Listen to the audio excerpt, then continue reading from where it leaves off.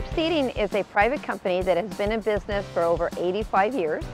Uh, we are the official seating and ticketing company for the Tournament of Roses. I think it just began because there was a need. Actually, there was a, a gentleman many years ago who uh, made the decision that maybe if I built one bleacher, that people would come. And they did. Now, we weren't the first, but we came in uh, a few years later with more of steel bleachers, metal bleachers, not wooden bleachers. Those were the original bleachers. They were wooden bleachers that were held down by sandbags on each side.